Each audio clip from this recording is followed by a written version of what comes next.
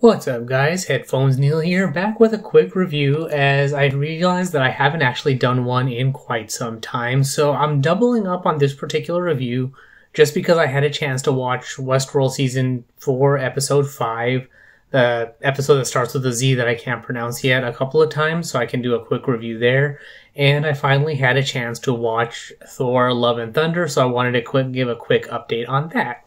So to start it off with Thor: Love and Thunder, since that is the older of the two um, pieces of media, overall I thought it was a very good um, presentation of the Thor story. Uh, we have a progression of New Asgard, um, what Thor has been up to. I particularly enjoyed the storytelling of Korg. Um, I really didn't want him to die at the end of the film when we have the our heroes at the city of the gods. So I'm glad that didn't happen. Um, so overall, it was basically just a fun time. It continues that fun adventures um, it for me. It basically presented Thor in Phase Four as far as fun and entertainment and story progression, much like what we saw in Thor Ragnarok with its phase. So when you're watching the film, that's kind of for me. It was kind of one of those things where it feels like that's kind of why people didn't like it as much. It wasn't maybe as uh, serious as Thor or Thor: of The Dark World, but for me, it has its its um, seriousness, but it's also pulling that transition. You know, we see the troubles of uh, Valkyrie trying to rule New Asgard. We see get more uh, story progression with Natalie Portman's character, so kind of trying to make up for not seeing too much of her in the previous films. Um, we saw a little bit of her here and there, um, and then of course they bring back Lady Sif, so having her um, story continue was good. So it doesn't necessarily address why we didn't see her overall the course of a lot of these films. We did have her cameo in, you know, Agents of S.H.I.E.L.D., but that was really about it. So it was good to see her on the big screen again. Um, but overall, it was basically just fun times, um, countered with um, Christian Bale as the God Butcher. So it just feels like this was more of the Thor version of what we're going to have with more of the multiverse the universe as a whole and kind of bringing in more of those um, other world extra bits of information from the universe as a whole. So t- trying to bring in more of the lore of some of that extra galaxy wide and universe wide bits of story, um, especially when we have all the various gods. We have Zeus, um, the introduction of Hercules, which actually to me feels kind of like their um, subtle way of saying that this is going to be how we introduce uh, mutants into the um, MCU. So um, that's my more of my prediction as well. So it's not necessarily something that's going to happen, but just one of those things that um, where they will have to bring in mutants at some point. So talking about Zeus and the old gods with their various powers and things like that, and then Hercules and being the strong man, you know, the kind of the colossus of the old gods kind of thing. So I'm really curious to see how all that goes. Um, and then, of course, having Natalie Portman enter Valhalla is going to kind of be a way to introduce the, I guess, gods or another way of having another army of good versus the army of evil of some sort. So, uh, with all the Marvel announcements, with the Avengers coming eventually, Wakanda forever, um, Ant Man, or I think another Ant Man, more uh, Galaxy Guardians of the Galaxy, and all of that. So it feels like Phase Five was essentially just a stepping stone into the a larger universe, and then the next phase is going to bring in more of the mutant stuff, the galaxy, and essentially a lot of that more larger than life stuff. So more of the um, expanded universe source of information.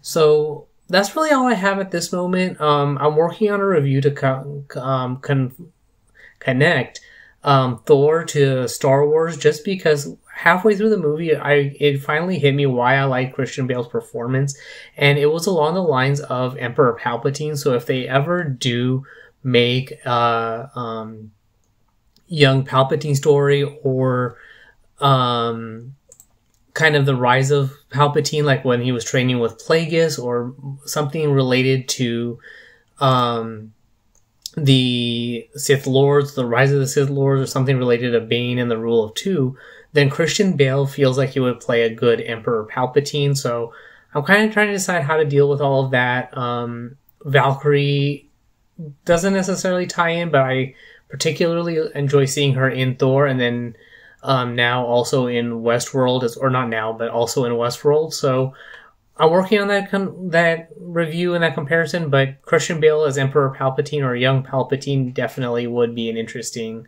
portrayal of the character. Um, other than that, I mean, Christian Bale really shown. I actually do need to go and see if he um, used his um, training from the machinist in this role just because of how skinny he looked, or if he if that was all CGI or something like that. He is a lot older now than he was in the machinist, so it probably wouldn't be as healthy for him to do that. So that's why I figure it was CGI, but something to look up. Um, so with that being said, um, or basically to round that out, I'm working on that final review, but overall it was good times. Thor Love and Thunder is the phase five version of what we saw in Thor Ragnarok, so I can't wait to see him in future films.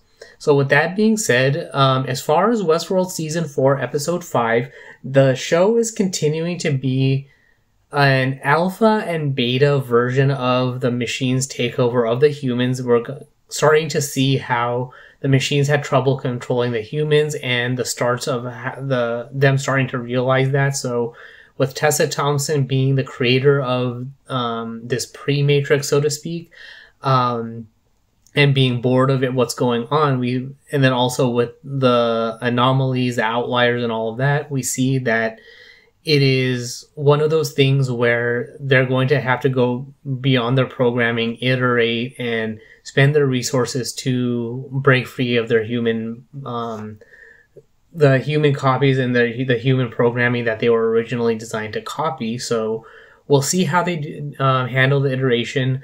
I have I did see a chart a little bit before this recording that um, the uh, show the season's not doing as well as it has been or has done in previous uh, seasons. That it's the lowest rated season of of the show so far. So to that, I kind of want to say that I, in general, agree with it to the point where yes, it is a lot slower. I've had to watch each episode a couple of times so I can um, not miss the content because I will say a couple of episodes I have fallen asleep to it. But um, to that point, on the flip side, understanding what they're trying to do is also of particular interest.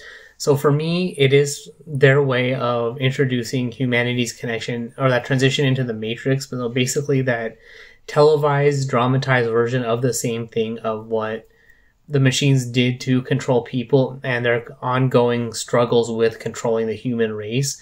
So on Twitter somewhere I did make that comparison of all the different characters in Westworld and how they relate to the Matrix. And I'm kind of also with the current episode, I'm currently also realizing that Teddy could also be the early version of Morpheus. Um, and um, Dolores could, could potentially be a version of the Oracle and Trinity, maybe a mix with um, her and Maeve, I guess. So kind of the programming is all mixed up. So maybe over the course of iterations and upgrades and changes, you know, upgrading one program and deprecating another would have adjusted things like that around. But basically, the current version of Westworld is kind of like an alpha or beta version of the Matrix. So ultimately, once we get to version one, it was going to be a version that requires certain concessions to be made, which is what it sounds like Tessa Thompson's character and the Man in Black are working towards. So with that being said, I like I said, I'm overall I am I'm not saying that it's a bad season. It is definitely very very slow and not too much action going on, but um, the subtle hints of what they're trying to do are very interesting. So it feels like it's going to be one of those things where I will have to watch the episodes a couple of times to, to make sure I understand what's going on in all the scenes and to see how they're progressing. Um, at least my theory for what's going on to see if I can prove myself right or wrong. If ultimately I'm wrong, then I'm I'm wrong. But uh, my current theory is they're uh, presenting a live action dramatized version of how the machines control the humans and kind of act as a pseudo version of a prequel to The Matrix um, in certain ways.